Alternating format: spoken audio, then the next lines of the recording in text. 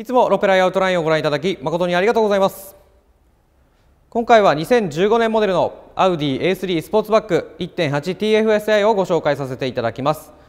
まずお車の状態からですが走行距離2万1000キロ走っているお車です。フロントの左側ですね。小さな飛び石が見受けられるのとあとはこのボンネットの付近にまた一つ飛び石が見受けられます。それ以外大きな傷はございません。コンディション良好な1台となっております。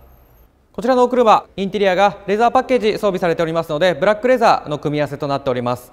またこの外装のこのヘッドライトの部分ですね。こちら LED が装備されておりますので視認性デザインともに抜群の1台となっております。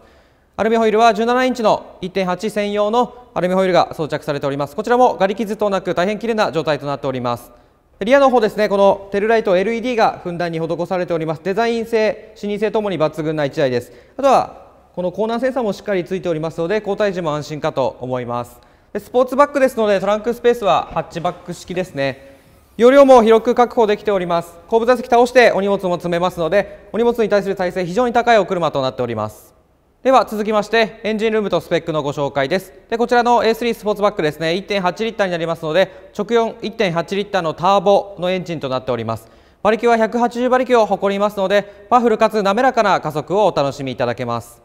では続きましてインテリアご紹介させていただきます。インテリアはブラックのレザーですね。レザーパッケージになります。ランバーの部分等ですね、傷なく大変綺麗な状態です。エンジンの方かけていきます。エンジンはこちらのボタンでスタートですね。はい。で、ステアリングの方もですね、マルチファンクションのステアリングになっております。パドルシフトもしっかり装備されております。こちらですね、アダプティブクルーズコントロールが装備されておりますので、高速走行時非常にこちらは便利なアイテムかと思います。ナビゲーションはこちらアウディの純正の SD のナビゲーションですね。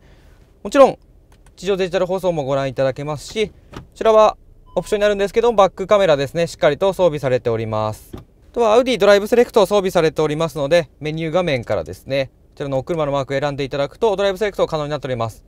で、効率モードですね、コンフォート、自動、ダイナミック、個別と全て設定可能になっておりますので、こちらでよりお楽しみいただけるかと思います。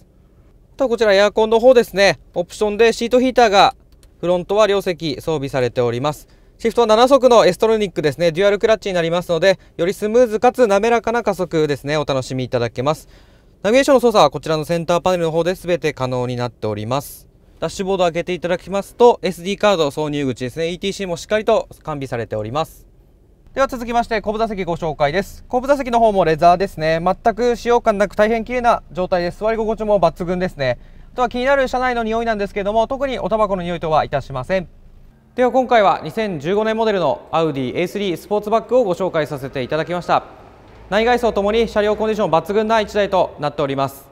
新車保証も30年の3月まで残っておりますしあとは LED ヘッドライトですね。インテリアはレザーパッケージが装備されておりますので高級感漂う1台となっております。ぜひともご検討ください。よろしくお願いいたします。